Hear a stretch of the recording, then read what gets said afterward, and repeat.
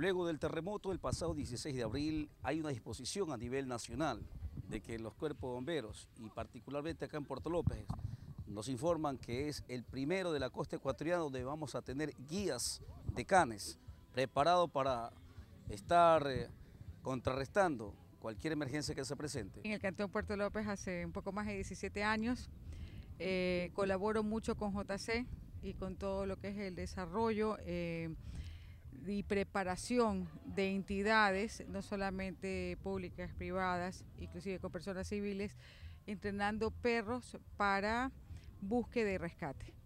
En el tema de lo que es búsqueda y rescate tenemos varios frentes.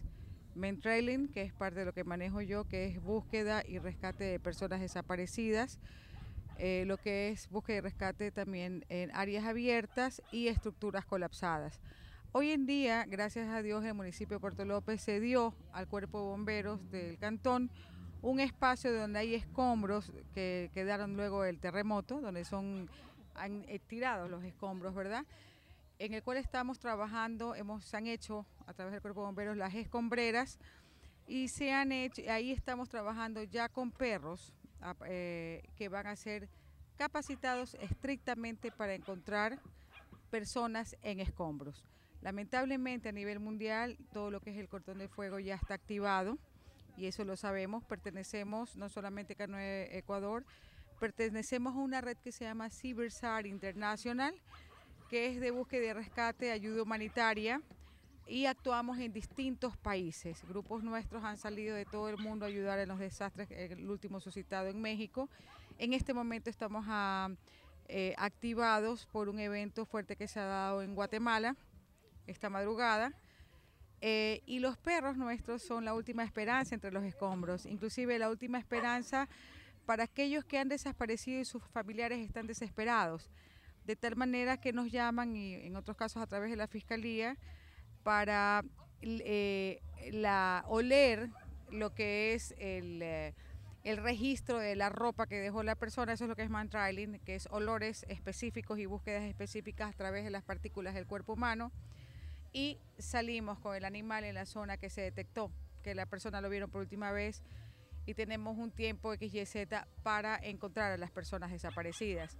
Entonces esa es parte de mi especialidad entonces transmitimos estos conocimientos aquí gracias al apoyo del coronel Julio Lucas, que él está convencido también de, y como tú sabes, el gobierno nacional también ya dio luz verde para que todos los sectores del país, cuerpos bomberos, ejército, policía, todos tienen que tener un área canina de búsqueda y rescate, o sea que no solamente se quede en lo que ha sido toda la vida, que es narcóticos, bombas, sino por fin ya tenemos luz verde para lo que es el área canina de búsqueda y rescate.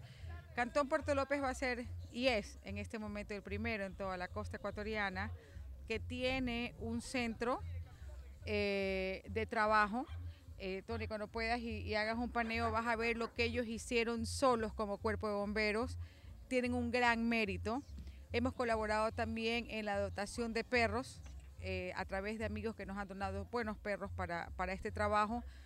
Y más allá de todo es las ganas que ellos tienen, o sea, todo el empeño que les han puesto de tocar puertas, o sea, que la pintura, que la madera, porque lo que para ti es basura, para nosotros es tesoro.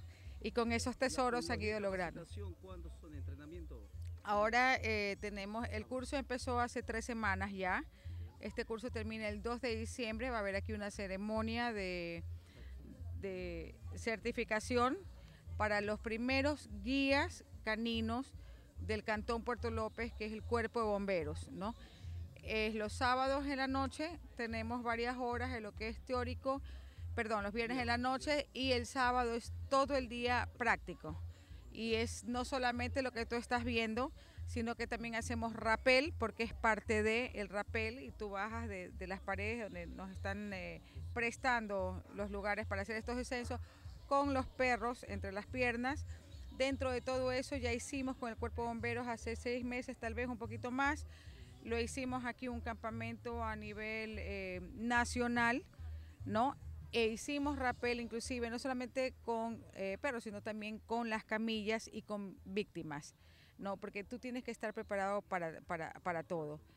En marzo vamos a hacer aquí en el Cantón Puerto López y vuelvo y repito, gracias al coronel eh, Julio Luca, la sede internacional, vamos a tener un curso internacional donde vienen instructores de diferentes partes del mundo para dar cursos más avanzados a esta organización específicamente Cuerpo Bomberos.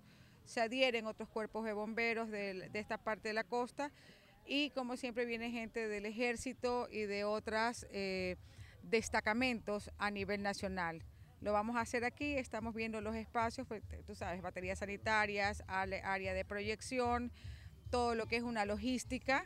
¿No? Entonces ellos tendrán sus certificados internacionales, sus avales internacionales para poder actuar aquí y van a ser los primeros en el país. Sin duda una gran iniciativa que se da con esta capacitación, los primeros guías decanes del Cantón Puerto López y de la costa ecuatoriana. Con imágenes de Víctor Lino, informó para ustedes Tony Quijije.